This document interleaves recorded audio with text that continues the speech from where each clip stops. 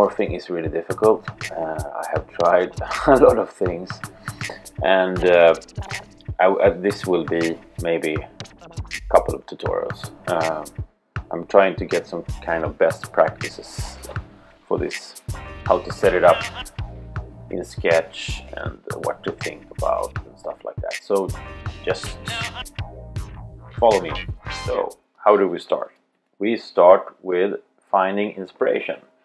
I googled morphing UI animations and I found a bunch of great stuff and this one was really good and inspiring. So this is material icons morphing. So I downloaded uh, material icons library sketch file uh, that I found online. Uh, and here you have trillions and trillions of material icons. So I just picked up a few of them that I could find uh, and just to make this simple uh, we have three. So we go from here to here to here. And this uh, has same same size on the outlines and stuff like that. Um, and that I also these were symbols. So I took away the symbol and to make this as good as possible for Keyshape. So we have the mask here and you have two paths here. So um, one of the key things to creating good morphing animations is to have the same amount of nodes on the paths. So the nodes are these ones. Uh, these are the nodes, one, two, three, etc., etc. Uh, what I have noticed though is that uh, if I count them here, uh, in KeyShape you have more nodes. So what you need to do is just try to like find similar shapes, uh, export it as SVG. Have it here. I just I always export the artboard uh, to have the same kind of uh, padding all around made it make it exportable. And then just drag drop them into KeyShape so let's check it out in KeyShape shall we? So awesome stuff. So in KeyShape uh, I opened up uh, the icons the SVG ones the, these ones the exported ones that one and that one and this one uh, just drag drop them here um, and the thing is here, let me just show you how it how it is before it's cleaned up. Uh, this is have a lot of stuff here. Uh, I don't know what this is. I don't care. Just just do this. Boom. We can take away that. Uh, let's center this one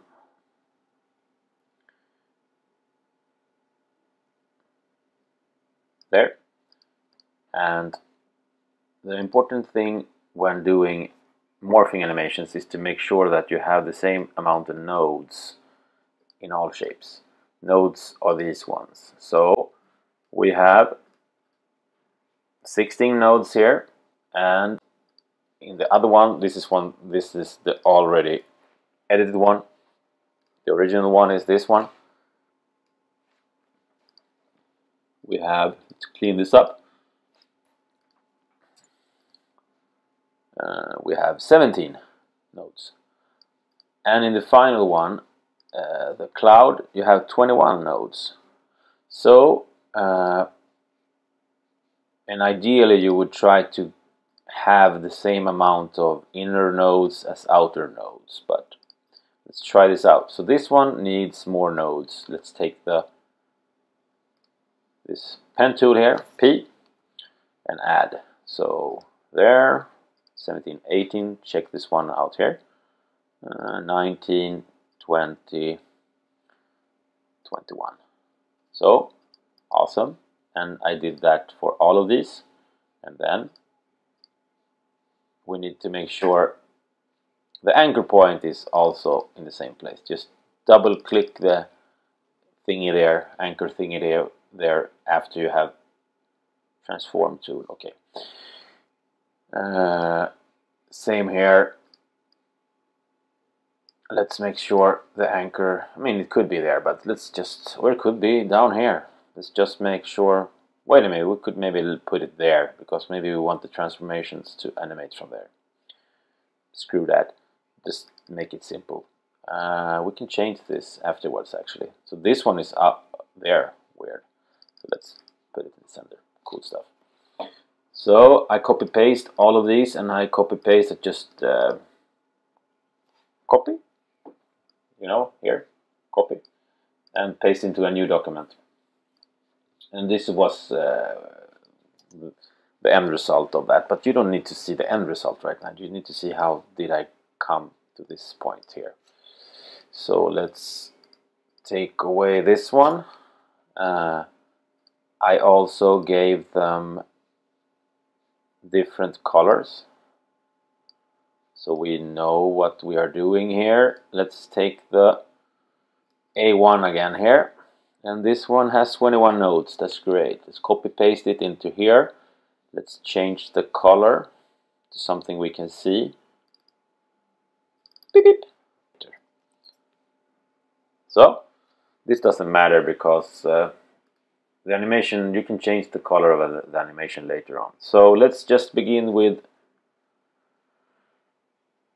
aligning these. Maybe they should, mm, let's align them like this. Like that and like that maybe. Yeah. Or maybe we should align them like this. Maybe we should do something like that. Yeah, this looks smarter.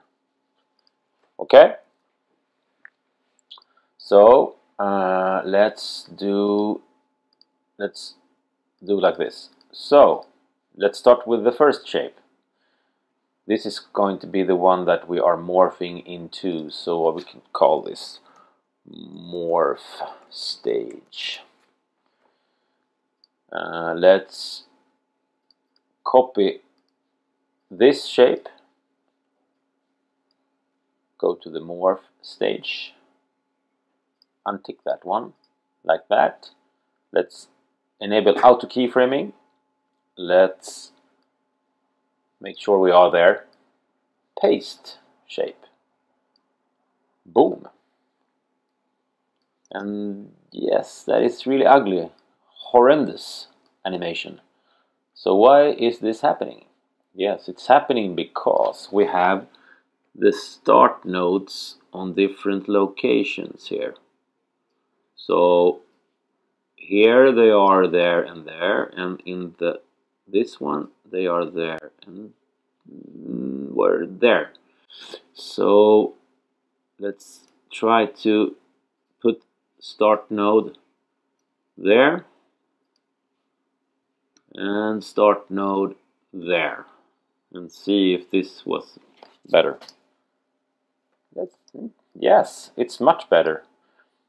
And I mean, it's too slow. So let's just take this one away. Copy the first keyframe and say that we want this to be still for like 0.7 seconds. Then the morphing will happen really quick. And then let's copy the morphing, the morph state and put it like one second. And then let's do some easing here. I always do this one. Uh, whoop. Nice. So we could go from Let's copy the first frame and see how it makes the transition back again. We have one, two, three, one, two, three like that. So now we could loop this. Repeat and check it out. Boom, boom, boom, boom. Nice. This is nice. Check out in the browser. You have command enter. It's there and this the cool thing about this is I mean this is uh, code. So you can go here and just uh, put uh, say 100% width and 100% height. And what happens there friends? Yes this happens it's freaking awesome. Uh, you could uh, go in here and just change the color also. Uh, so let's change it to green. If this one won't work blip blip blip there you are my friend. Let's change it to like that. Oi oi oi. This is why I love SVG and uh, animations my friend. It's freaking awesome. So 100% in the width and height makes this nicely responsive. Boom boom. Yeah, so it's not maybe the most, most perfect animation, but it's morphing. So let's take a break now and then we can uh, try to put this one is going to be interesting. Cheers, friends.